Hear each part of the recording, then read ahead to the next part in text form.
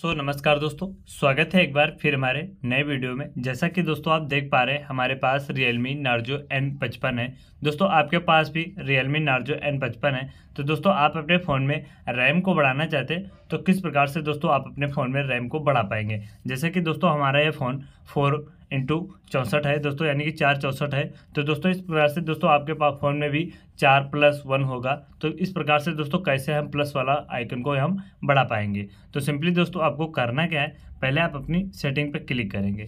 जैसे दोस्तों आप अपनी सेटिंग पे क्लिक करेंगे तो यहाँ पे आपको स्क्रॉल रोल करके आपको नीचे आना है। जैसे दोस्तों नीचे आएँगे तो यहाँ पे आपको देखने को मिलेगा अबाउट डिवाइस तो आपको अबाउट डिवाइस पे यहाँ पे क्लिक करना है इस प्रकार से। जैसे दोस्तों यहाँ पे क्लिक करेंगे तो यहाँ पे देखेंगे दोस्तों आपके रैम को शो कर रहा है तो आपको रैम पे क्लिक करना है इस प्रकार से। जैसे दोस्तों रैम पे क्लिक करेंगे तो ये वाला यदि ऑप्शन आपका ऑफ़ हो तो आप इसे ऑन कर लेंगे। जैसे दोस्तों इसे ऑन कर लेंगे तो यहाँ पे देखेंगे one G B two G B four G B तो जितनी आपको बढ़ानी है, उस पर आपको यहाँ पे इस प्रकार से रख लेंगे। जैसे कि दोस्तों मैं टू जी बी बढ़ानी है तो हम टू जी बी पे रख लेंगे। उसके बाद में हम सीधा बाइक चले जाएँगे और यहाँ पे रिस्टार्ट नाउ पे क्लिक कर देंगे इस प्रकार से।